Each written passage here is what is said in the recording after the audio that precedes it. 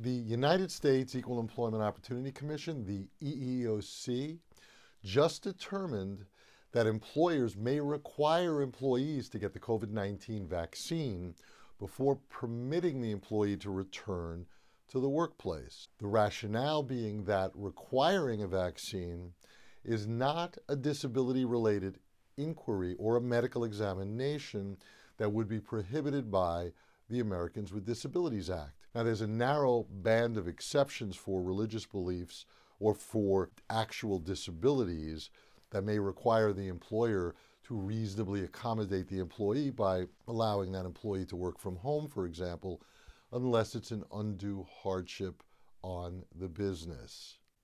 This is Jack Tuckner with Tuckner, Sipser, Weinstock, and Sipser, the employee rights firm based in New York. If you have any questions related to your employment, please feel free to give us a call or shoot us an email for a no charge consultation. Thank you.